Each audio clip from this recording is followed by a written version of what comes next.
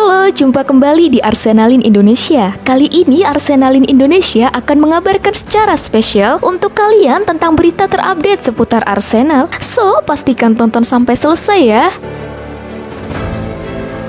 Jelang laga krusial Arsenal versus Wolverhampton Wanderers. Arsenal akan menjamu Wolverhampton pada laga tunda pekan ke-20 Premier League 2021-2022, Jumat 25 Februari 2022.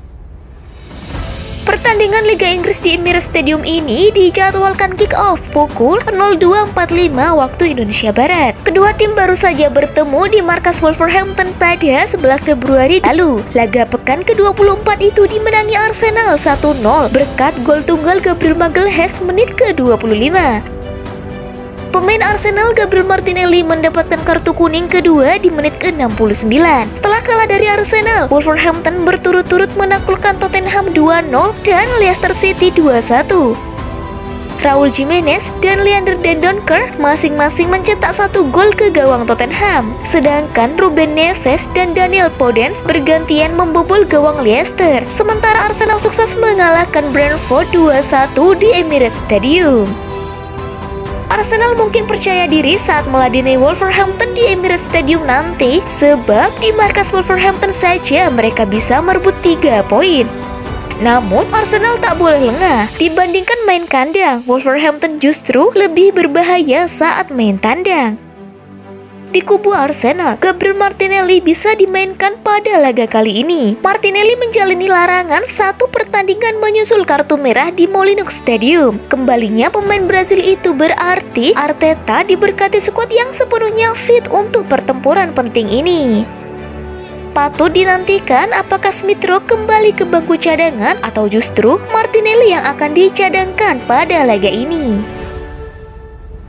Pemain lainnya, Takehiro Tomiyasu juga sudah cukup fit. Setelah hanya menjadi pemain cadangan saat melawan Brentford, Tomiyasu diprediksi akan kembali ke starting eleven Arsenal untuk menggantikan posisi Cedric Soares.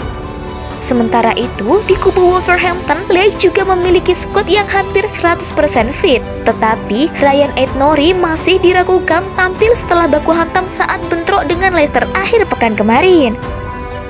Kabar baiknya, Yerson Mosquera dan Willy Bolly telah kembali berlatih penuh dan juga ada nama Pedro Neto yang telah kembali ke dalam squad Wolf. Huang Hichan dan Francisco Trincao juga siap bertarung untuk mendapatkan tempat di lini depan jika Lig beralih ke formasi 3-4-3. Omari Hutchinson bisa mengikuti jejak Emil Smith dan Bukayo Saka. Ada banyak bakat yang muncul di klub yang banyak dibicarakan tentang Akademi Helen. Mulai dari Charlie Partino, Mika Bieret, Miguel Aziz, Brooke Norton Coffee, dan Salah Edin. Dan yang terbaru ada nama Omari Hutchinson yang harus ditambahkan ke daftar. Ini mendorong seruan di antara para pendukung di media sosial agar Hutchinson melakukan debut seniornya lebih cepat. Ini bukan pertama kalinya Hutchinson membuktikan bahwa dia bisa segera siap untuk melompat ke tim utama. Saat dia menarik perhatian dalam pertandingan Papa John's Trophy melawan Newport di awal musim sekarang, jelas bahwa pemain berusia 18 tahun itu ada dalam radar Mikel Arteta. Faktanya, manajer Arsenal telah memasukkan anak muda itu ke dalam skuad matchday-nya pada empat kesempatan berbeda pada tahun 2022. Baru-baru ini, melawan Brentford saat Hutchinson mendapat kursi barisan depan untuk menyaksikan dua inspirasi HLN-nya membuat dampak yang menentukan.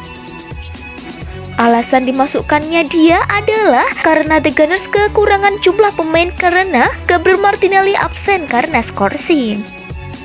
Oleh karena itu, pelan-pelan memasukkan anak-anak muda Arsenal ke tim utama telah menjadi kebijakan Arteta sejak Desember 2019. Sesuai transfer market, Arsenal telah memberikan debut senior kepada empat pemain akademi di Volarin Balogun, Patino, Ben Cottrell, dan Aziz.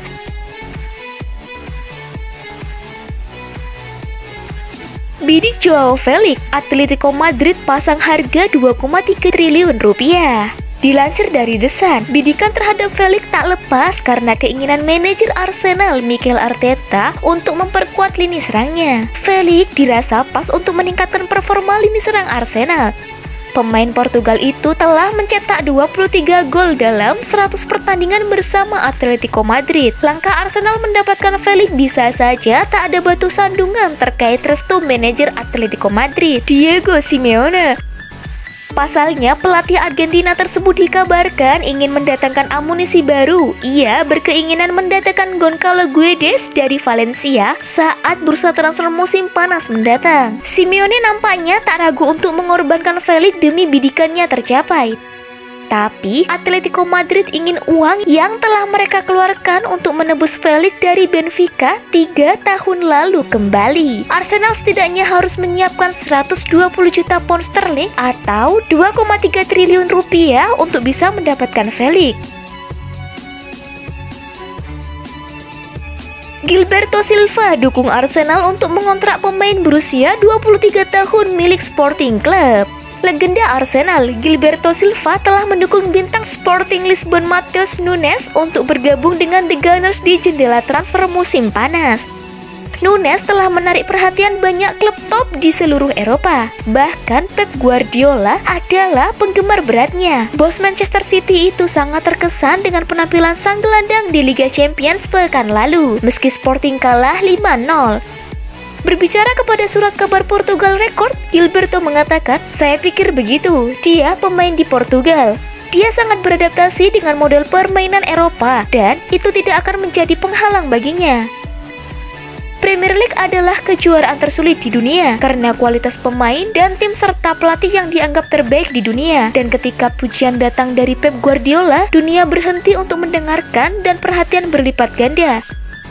Dan jika Pep mengatakan itu, itu karena dia mengerti bahwa Matias Nunes bisa mencapai level itu. Saya berharap untuk melihat Matias Nunes segera di Liga Premier. Ketika ditanya oleh wartawan mengenai apakah Nunes akan bermain untuk Arsenal musim depan, Gilberto pun menjawab, "Kenapa tidak?"